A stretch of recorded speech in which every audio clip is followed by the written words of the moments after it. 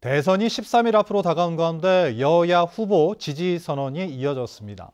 마을공동체 연구소와 제주마을 포럼은 제주도의회에서 기자회견을 갖고 제주답고 지속가능한 제주를 만들기 위해 이재명 후보를 지지한다고 밝혔습니다.